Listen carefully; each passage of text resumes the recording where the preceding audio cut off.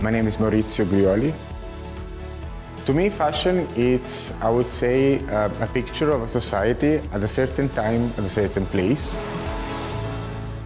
It also represents a mirror of the past and a perspective for the future. Fashion is not just something that is got to do with clothes, it's got to do with society, politics, music, how people live, how people behave.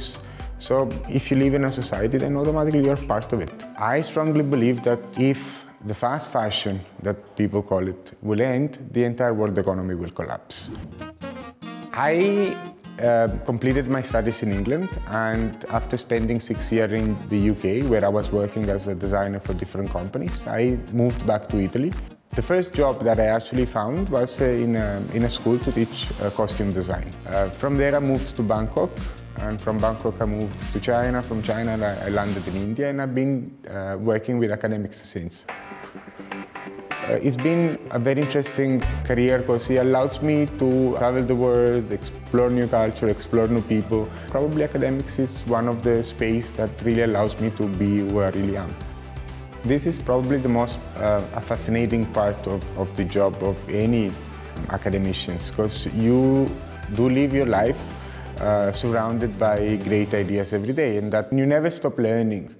So I've been associated with Pearl Academy for the last two and a half years. Um, the experience has been extremely amazing and I started as a HOD for the Department of Fashion and recently got promoted as Dean.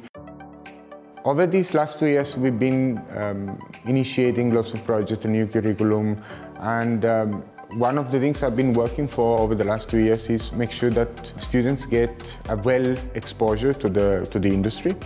We did take the school to the London Graduate Fashion Week. We were the only India school taking part of that. There are lots of um, interesting science behind what people believe it's just a, a glamorous um, subject. It is actually a very intense subject and I've always been fascinated by over the years we do uh, find new innovative way of um, creating garments and uh, dressing people's body.